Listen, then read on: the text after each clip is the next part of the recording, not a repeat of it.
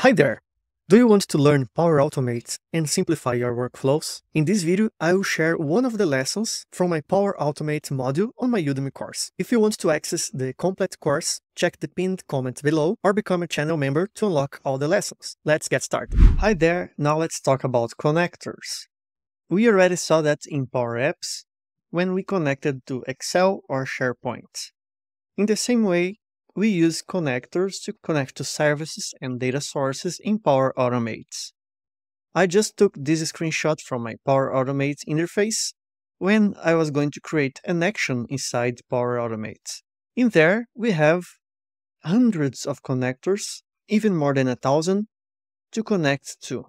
The list is very big, and we have in the documentation the list of all of the connectors that we can use in Power Automate. Most of them, we don't even know the service. But if you use any of these services in your company, know that you can connect to them. Co we have connectors from other vendors. As we can see here in the screen, in this list of connectors, that's very big. I can scroll until the end. We have hundreds of rows, and this grows every day. And we have also Microsoft connectors to the services that we know on our daily basis. For example, as you can see here, we have Excel, Microsoft Forms, Microsoft Teams. We also have connection to the Outlook email, SharePoint, and so on. The list is very big. And as we can see here, these connectors allow you to automate workflows across different platforms. You can connect the platforms and make them communicate, which is very good. Now, there is one differentiation between the connectors. We have standard and premium connectors. As you can see here in the print screen, we have premiums. And we have those that don't have anything. The standard connectors are already included in most of the Power Automate plans. For example, if you have a Microsoft 365 account and you have access to Power Automate, you can use the standard connectors without any additional costs. But there are premium connectors that require more licensing. For example, connecting to Salesforce, SQL Server, or Microsoft Dataverse. Usually the databases require this premium plan and you need to pay more to use that.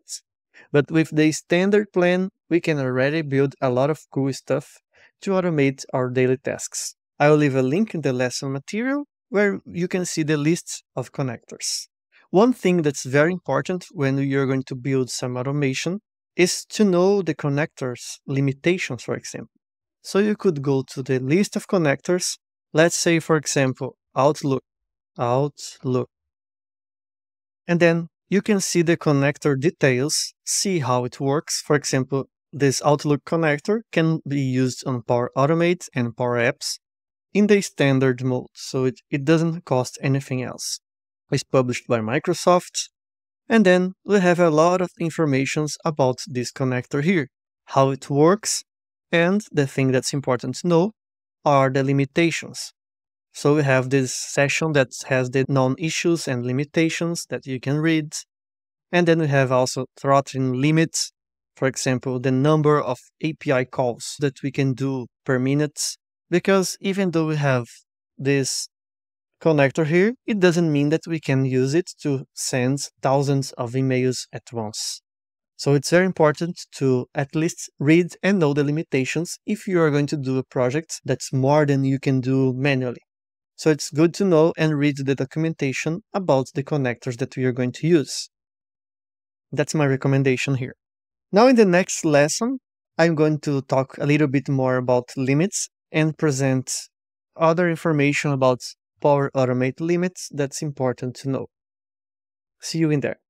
Do you want to watch the classes without any interruptions? By becoming a channel member or purchasing the course, you can watch ad-free and support the future of my content creation. Check out the link in the description and in the pinned comment to get started. See you in the next lesson.